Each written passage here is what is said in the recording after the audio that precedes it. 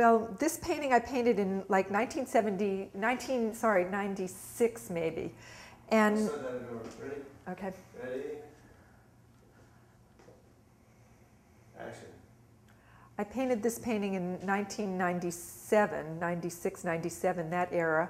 And um, we, my husband Lee Butler and I were swimming with dolphins a lot in that. We were, we had a friend who had a, um, Okay, cool. Very good. And I'll move out of the way to point to this, Sure, okay? I- I'll move out of, can do stuff as you yeah, talk. all right. I don't have to always be, okay, where you at, right there. Okay, ready, speed. Action.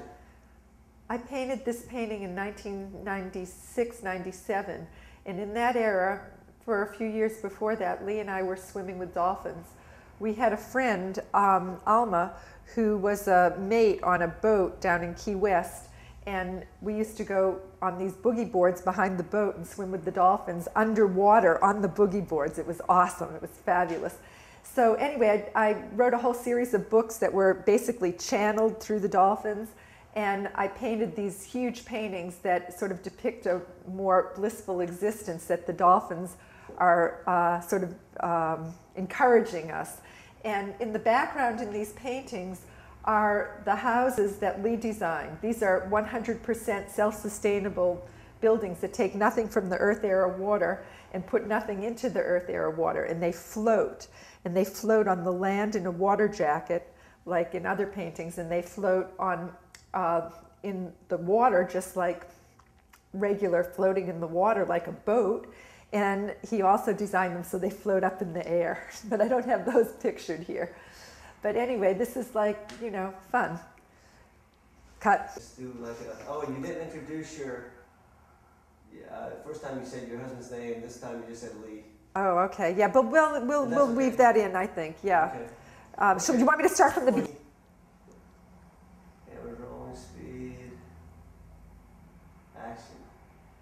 The Dolphin Dream painting was painted in, I painted this in 1996 97, in that very creative era when uh, Lee Butler, my husband, and I were swimming with dolphins because our friend Alma was a mate on a boat down in Key West.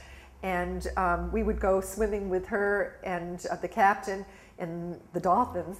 And when we were swimming with the dolphins, he had it rigged so we had a boogie board that he dragged behind his trimaran, and you could go underwater with the with the dolphins. So you could be swimming underwater with the dolphins. It was a phenomenal experience, and um, the dolphins are encouraging us to play a lot, and so that's what this whole new era is about. A lot more fun, and in the painting are these buildings. These are 100% self-sustainable buildings that take nothing from the earth, air, or water, put nothing into the earth, air, or water, and protect the lives of the inhabitants no matter what the external conditions. That means earthquake, flood, fire, tsunami, it doesn't matter. He designed these buildings to withstand the forces of nature, no matter what they were. So, like I say, this was that era in 96, 97, where I painted a lot of paintings that had to do with dolphins. I wrote a lot of books, the screenplay about all of this. So, you'll see more of it.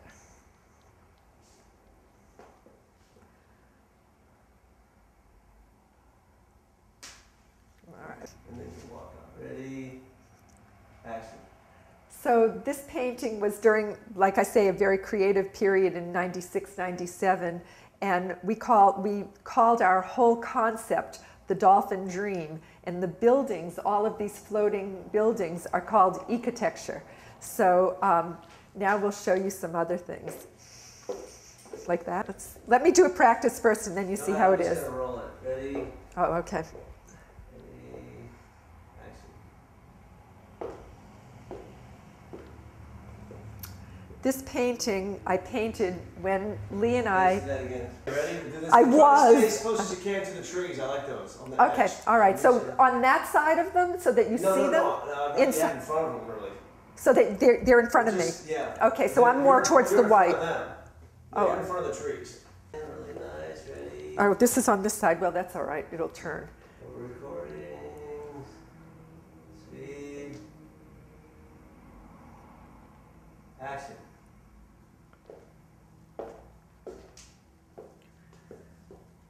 This painting um, I painted in Boulder Creek, California, when Lee and I lived in the woods in a cabin with, which was a former methamphetamine lab. Um, it had no running water, no electricity. It was in the middle of the redwood forest, and um, I there was a cabin, an abandoned cabin below where we were staying, and we called that George's cabin. And I would go down there and collect whatever George had left behind, and he had left behind paint kits. He was must have been an aspiring artist. He had plans of become of doing artwork because he had all the materials needed for an artist. And I painted all of this huge series of paintings in California, living in the woods with nothing, with just found materials. And um, this painting also is depicting of, of a more a more bountiful and uh, luxurious future when people can just be themselves and be in nature.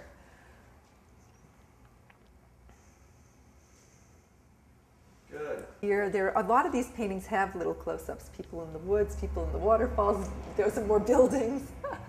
these are Lee's buildings. These buildings that that are all of his new buildings are rounded. They have no squares, no uh, angles.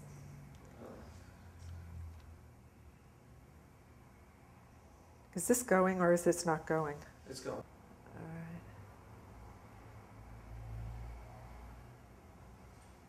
Rolling, speed. Get a shot of this for a second. Action. This era when we were living in the woods, virtually homeless, aside from living in this cabin, um, below this cabin, this, this, these cabins were built by our landlady, whose name was Judith von Sluten, and uh, she calls herself the land bitch. But, but she had, they had stored a jacuzzi underneath this fountain, underneath this cabin, excuse me. They had stored a jacuzzi underneath the cabin and I drug it out. And we, this cabin was literally teetering over the edge of a cliff. And I drug the jacuzzi out and stuck it, wedged it between some stumps, and got myself a bath by um, getting little bucket, little things of water from the local um, well and the local cistern, that is. And um, so this guy is coming in right now, sorry. We'll cut this, but go All right. So anyway, what um, I got, I better get him. Excuse me one second. What time it is by chance? Uh, About 20 to 3, I think? Oh, okay, thank you. Thank you so much. Okay, Thank you. You'll be there. Thank you. hold on, hold on, hold on.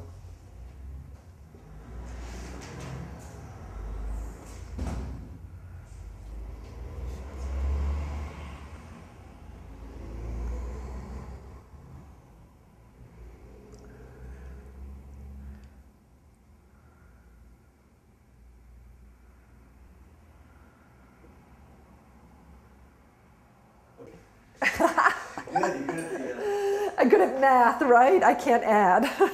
okay, so, uh, yes, what would you like to, the more you look at the camera, the better on this, but. Okay, I will. Okay, Um, action. this painting I painted with the great masters in mind. I painted it in mind with Manet, uh, uh, a famous painting, I can't remember the name of it now, with the Ingres painting, with the um, Duchess of Alba by um, Goya. So that was the sort of, those were the inspirations, shall I say, in those paintings. But of course, always Rousseau, Henry Rousseau, and um, and I would say some American primitive painters who painted peaceable kingdom paintings. So that those would be the influences in that painting. That's good enough for that. Ready? Action. Quiet guy. Ready, quiet. This paint. This is a screen that I painted of. Um, Lee's architecture, the floating biospheres, the buildings that are floating not just on the, on the water, but also in the sky. Okay, this is good right here.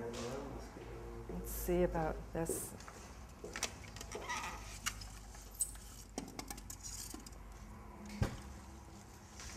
Isn't that beautiful? I don't have to go out and buy more flowers. Remember I was talking about it?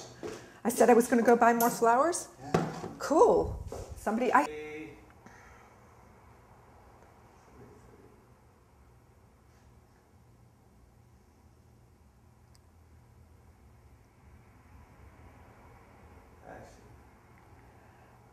Lee and I had the Dolphin Dream um, as our logo and as our business, and it was one dolphin in a rainbow. And then when he had open heart surgery, he had uh, kidney transplant. And when he got open heart surgery, he was a month in the hospital in Fort Lauderdale.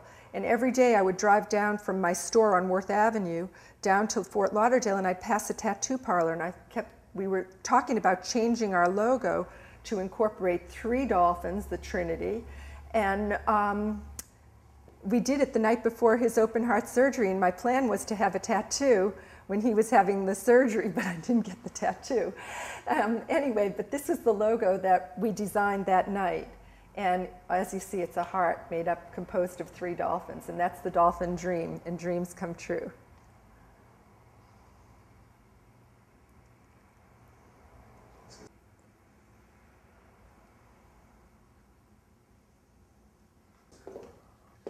You know, I didn't even think of this, but there's, there are 73 paintings in this show. I don't know how we're going to do this, but we'll just go fast. Well, you need to pick your best ones. I know, I've got to, exactly. We've got to pick the, just a few. So we'll just stick with that for, we won't do this, oh, we got to do this one here and this one maybe. And get the idea. Well, you, what you'll do is you'll just show the other ones by single shots, right? You can, Yeah, can, yeah. that's what I'd like. I'd like you to show them all. I'll only speak about a few of them, but we don't need to do every single one. I mean, we can do quickly.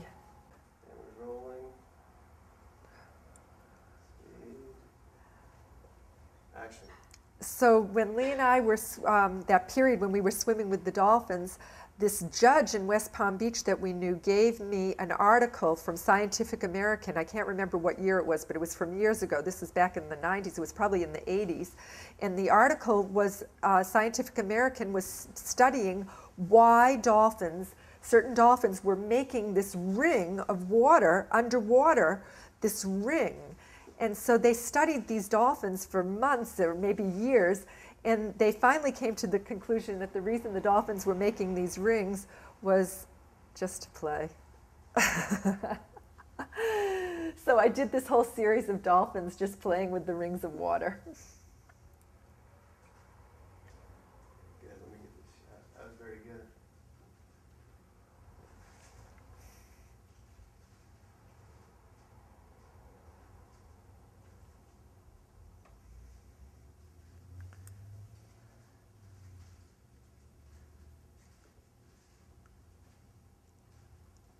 What's the noise? I'm just gonna roll this like it is. All right, just roll it. Ready? A little bit more. A little bit less. That's my professions. okay. Ready? It could be the picture. Ready, Betty. Ready? Action. So, um, a lot of artists, American artists in the early revolutionary years, primitive painters, painted scenes like this, not exactly like this, but li- with this idea of the peaceable kingdom, of the lion laying with the lamb, of peace on earth. And I started this painting in 1981 when I was a student at Boston University School of uh, Fine Arts in graduate school for my master's. That uh, microphone behind. Hide it? no, no, just your, your hand. On my hand. Should we start that again? yeah. All right, yeah, right. Just to, just Yeah, a more yeah, exactly. Okay. Okay, ready? Action. A lot of American artists in um, the early years of our country painted scenes like this peaceable kingdom scenes, scenes where the lion is laying with the lamb, where there's peace on earth. And I started having these visions back in the late 70s um, and early 80s. And when I was a student at Boston University School for Fine Arts, getting my master's degree, I did a series of small egg temper paintings on this theme and painted, started this painting. I had this painting when I met my future husband, when I met Lee. Hold on, hold on. I had, Yep. I had my, I had this painting. Okay, Hold on, hold on. okay, I'll do it again. No, no, just do, I had this. Okay, I will. You say when. Action. I had this painting uh, when I met my future husband, Lee Butler, and when I saw his architecture, which portends exactly what these paintings are about peace on earth, because living in those buildings portends peace on earth. I incorporated some of his buildings floating in the sky, angels, you know, dolphins, the floating biospheres in the background. So I added to the painting from 1981 um, some other elements back in the early 90s.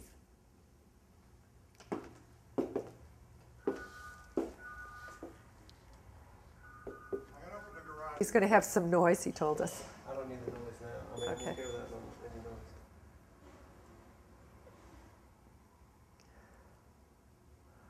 So these cuts here will be put over like some of your talking, you know? Perfect. Is that a floating angels? They're angels.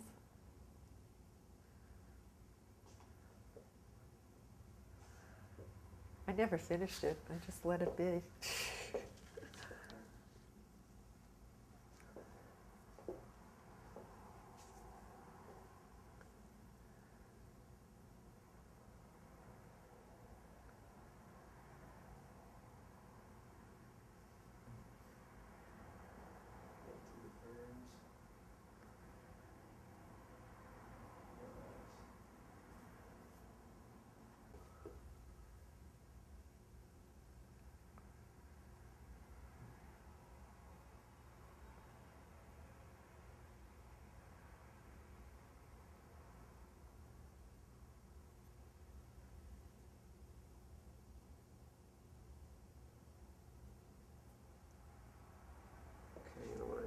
go up to the, Yeah, you just need to go up to there, right? up to the, uh, oh my god, I like this. Um, I said that right when I was out of breath, but that wasn't, that didn't mean anything. I just like the dress. All right. It's so fun, I'm, I'm at the, so. Okay. I didn't interpret it anyway, really. Yeah, it up. No, I was just sort of watching the tape, uh, one of her. Okay, let me just, uh, get a good focus on this, it's a little hard to get a focus for some reason. Because this is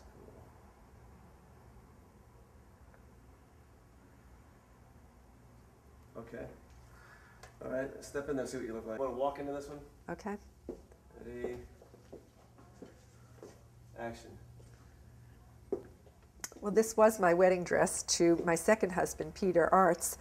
And um, when we decided, we, I married shortly after Lee passed away. And um, when we decided to divorce, I decided to write the vows and the entire wedding ceremony on the dress. So that's what this is. This is the entire wedding ceremony, including the songs that were sung and et cetera. Both the front and the back are covered with it. It's all a work of art. Okay, I'm not going to use that. Divorced last week in Belgium. I still have to get divorced in America. I think I got divorced. I hope so. I don't Everything know. you say can be used against you in a court of law. Oh yeah, fuck them. the horse they rode in on. not, I don't like that. Second husband. Okay. just so you know.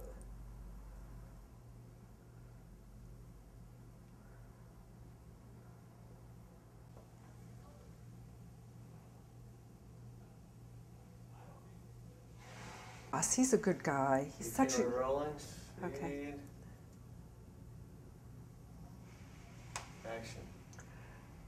I moved to Florida because of um, the fact that I was painting orchids and living in Boston. It was freezing cold up there, and I had come down to Florida to an orchid show, and won all the awards at the show as well. Got all these amazing commissions down in Miami. So I realized I should move down here with my orchid painting. And the same year, the uh, the um, Amer- or the year following, uh, the American Orchid Society moved its headquarters down to West Palm Beach. So I was right in the right spot. And um, at the time, the president, the man whose property the Orchid Society was on, Mr. Vaughn, used to let me come into the greenhouses there and paint all of these orchids. So I would do these huge sweeping pictures. This is a giclée of one of my originals. The original is four by six feet, but uh, big, very detailed paintings of orchids Talk. Ready? Yep. Uh, camera rolling, speed. Walk. These are gigantic four by eight foot paintings of uh, orchids in pots. This is a giclée of it. And these are the original watercolors that I started with for some hotels in Atlanta and in um, Texas. I had an agent that was selling my paintings to presidential suites, my paintings of orchids, my watercolors of orchids. As hotels were being constructed, she was placing these uh, larger paintings than these. These are the only ones that I still have from that era, from the 80s when I was painting these orchid paintings.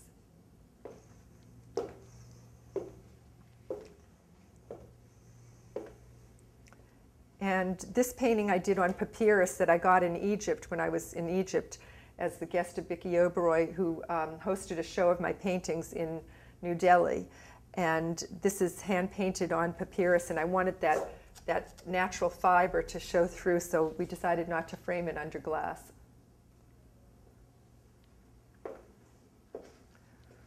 Okay. Yeah. Action. This is an awning that I painted. And actually, the light shines through the paint and the fabric really cool. It looks like stained glass windows sometimes. I've painted a few awnings for people. So, this is an awning that I did.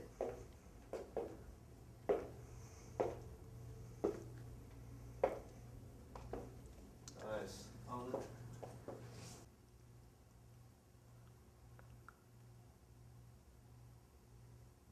Okay. Action. When I moved to Palm, Oh, I'm in the but go ahead. start again. When I moved to Palm Beach, yeah, you still are, I think. I don't know, are you? When I moved to Palm, uh, one, two, three, action. When I moved to Palm Beach, I started a series of paintings of local landmarks, including the breakers. And I would sit in front of the breakers and draw different drawings of the breakers. And there was a little shop inside the hotel that would sell my paintings one after another as I produced them. So I decided to start making postcards and greeting cards. And that started my business, which I did for resort hotels, municipalities, um, uh, civic organizations, but mostly for people in their homes. And I call them house portraits.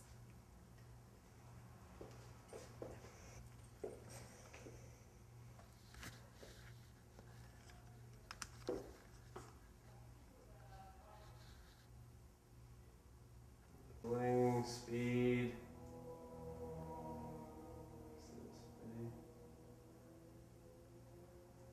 One second. Yeah, I heard. I thought it too. Okay, here we go.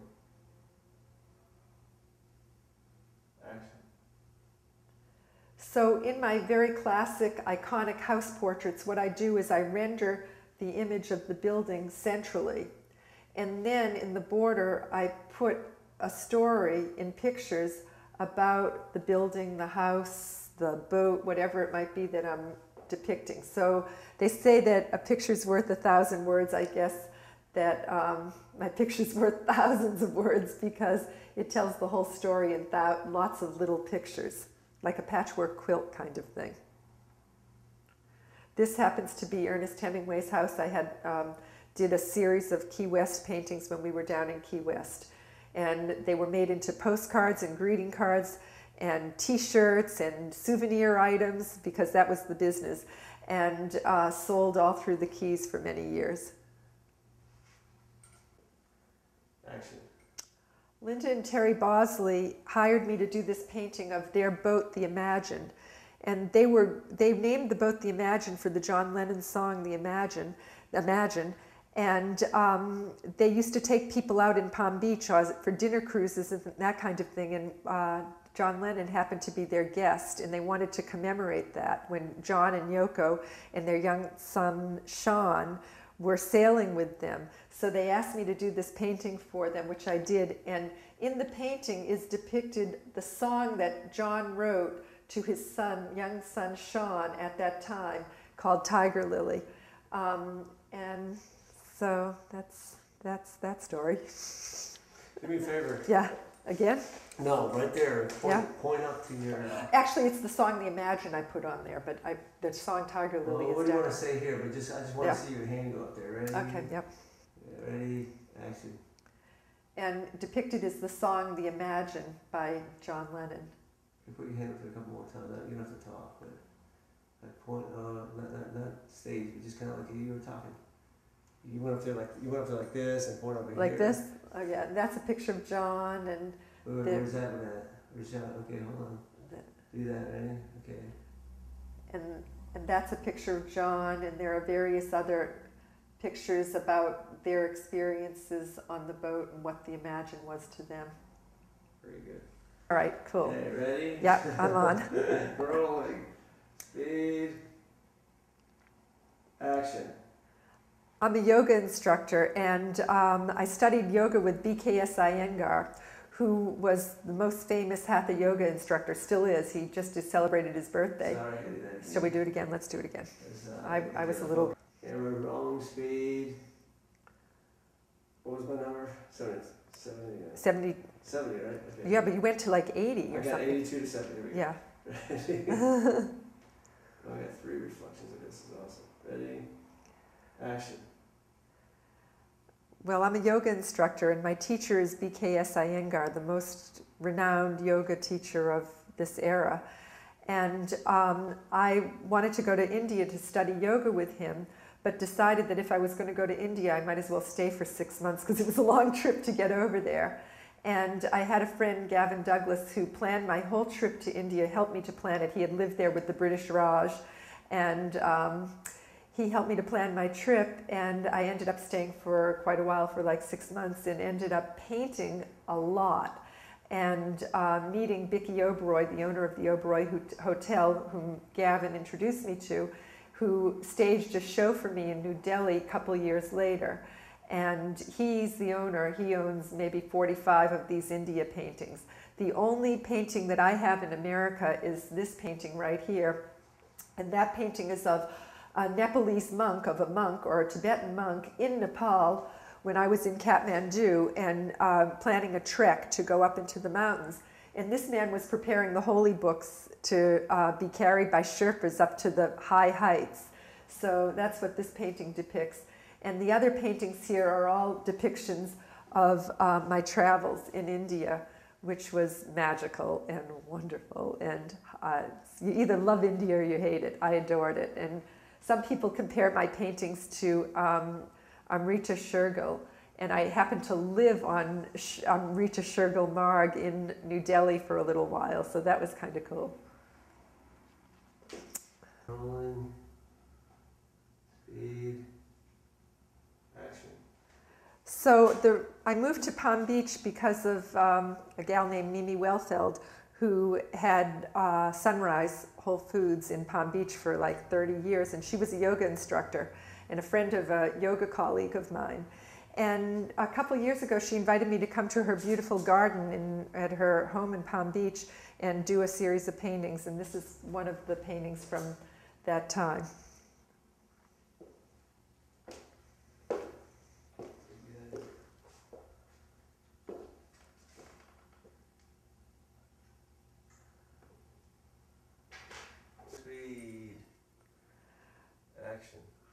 When I graduated from uh, the Rhode Island School of Design in 1976, I start I set up a studio at Boston Center for the Arts, and the Arts Center in the South End of Boston was adjacent to the Boston Ballet. So I used to go and paint pictures and do drawings of the um, ballet of the ballerinas during their practices, and this is um, the only surviving one that I the only one that I still have. All the rest were sold back when. And this is pastels and um, charcoal and Conté crayon and, um, and oil crayon. And I was really just after the whole idea of the motion of the movement with the lines.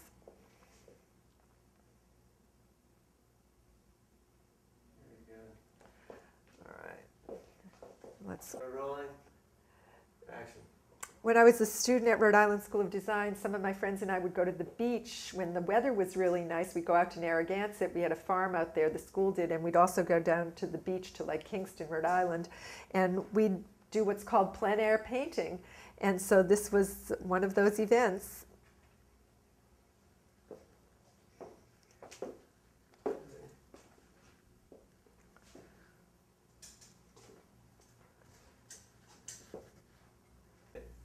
Rolling. Action. In um, the first time I went to Italy was with my family in the 60s, and I just was fell in love with the place. I wanted to live there. I wanted to be there for the rest of my life. I never wanted to come home. And so when I got the opportunity to go there with my school, I stayed there for the honors program. And also, I went back to work with a, a famous Italian artist, Giacomo Manzu, in 1977, I think it was, around that time. And I did this series of um, watercolor gouache mixed media paintings of the various beautiful architecture in Rome and in Florence. And this was Isola Tiberina, which is the island right in the middle of Rome. Beautiful place, and the light hitting it. And I lived right around the corner from there, so really fond of that painting.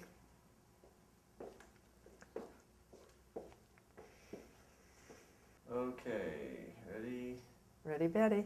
Action. Uh, a few years ago, I was hired by the town of Palm Beach to um, do the images for the cover of Okay. the, Cameras rolling. Action. maybe 10 years ago, I can't remember, but uh, some years ago, I was hired by the town of Palm Beach to do the cover for the, do the painting for the cover of their annual report. And this was one of the images of Brazilian docks that was on that cover. I've also done the cover for the Chamber of Commerce in Palm Beach and the real estate guides and a lot of other publications. But this one was Brazilian docks.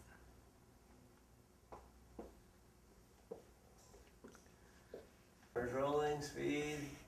All right, so here's this, wait, wait, wait. Let's move that wire. Uh, Oh, this wire? just a little bit if you this way, okay, ready? Uh, action. No, not looking. Okay, camera rolling. Speed. Action. Well, here's the whole story plant, nurture, and protect trees. So um, that was how Lee and I met and how we fell in love, and the whole story is depicted here in this picture. And um, what happened was the city of West Palm Beach was going to cut down this beautiful tree. And I heard about it when I was painting a painting for the calendar for the city of West Palm Beach. I was hired to paint and um, didn't know what to do and found out that the only thing I could do was possibly tie myself up to the tree. So I, in the attempt to do that, I realized I couldn't, the girth of the equipment was, the tree was so wide that I couldn't put the chain that I had around the tree. So I had to call this man that I had just recently met to tie me to the tree, which he did with pleasure. and uh, anyway, the rest is history, as they say. But what happened is um, we managed to save the tree for a couple of weeks, and then a few weeks out, they ended up cutting the tree down.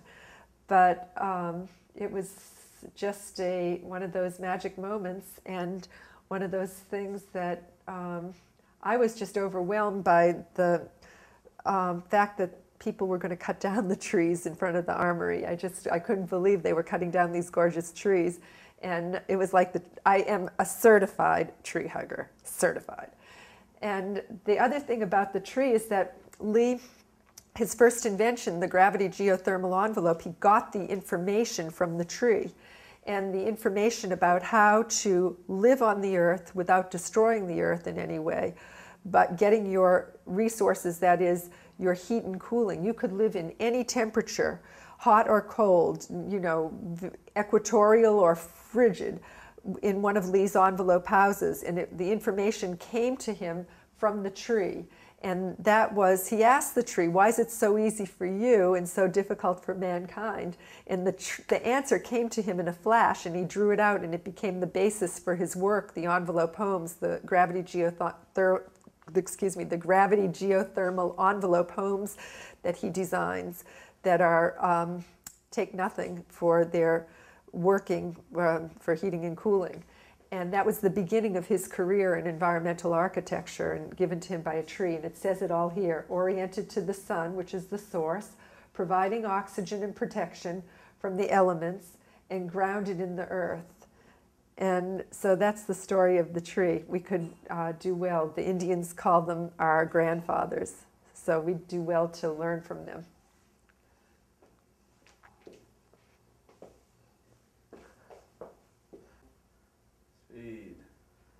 When we came back to Florida and from California, um, I actually sold a print, a Francesca Woodman print, to Sotheby's.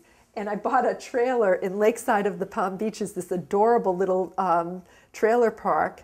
And Lee was very sick at the time, and we were living there until the Hurricane Frances blew away my art studio, which was the whole outside of the trailer. And um, eventually, Hurricane Wilma took the entire trailer. So that, that moved us out real fast. But at that time, Lee was in the nursing home and on his last breaths at that time, unfortunately. But this was um, a little painting I did of the trailer on the lake.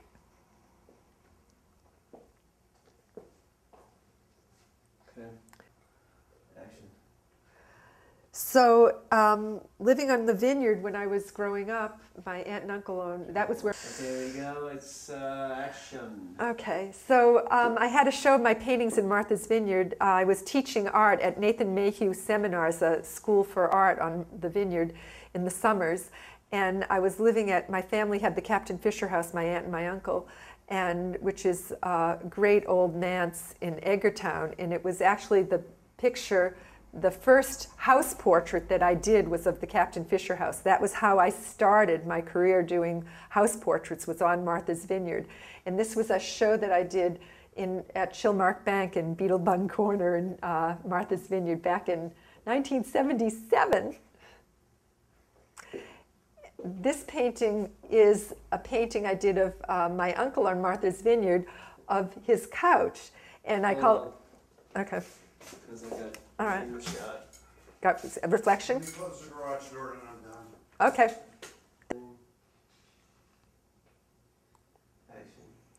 So in the Captain Fisher house was this um, couch, and my uncle told me the story about when he bought the Captain Fisher house in 1919. This beautiful uh, captain's house in Edgartown, right look overlooking the harbor, and um, and it was decrepit at the time and he turned it into a boarding house before he met my aunt. Anyway at, in that era he was a plumber and that was before he put himself to law school. And sometimes when he would do work for people they weren't able to pay him. So they would pay him in you know chickens or whatever. And in this case they this guy paid him with a couch. And so that was in their living room in uh, the captain fisher house and i painted a picture of it uncle marty's couch i call it Good. Okay, once you come around the corner somewhere, just to the left or right. Yeah, okay.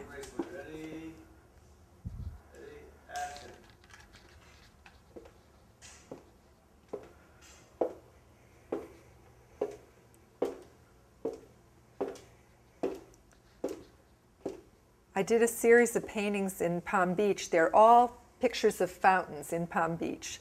So I depicted all of the fountains in sepia tones, and these are some of these are prints of the fountains, some are the originals of the fountains.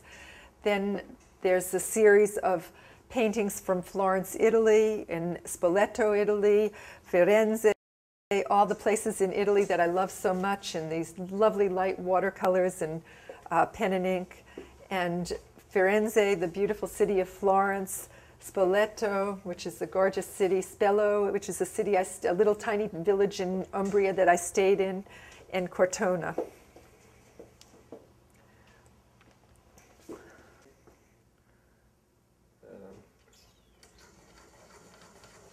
there we go. Action. Well, the tall ships came to New England in 1976 for the 200th year anniversary of our country, and I did a series of paintings of the tall ships, and this is one of them. This actually might be the Shenandoah in Nantucket, I think. I'm not sure, but I think it was in that era that I was painting them.